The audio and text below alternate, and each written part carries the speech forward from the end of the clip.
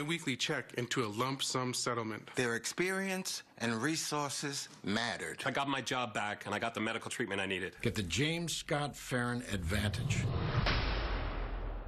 Call on the Hurt line right now.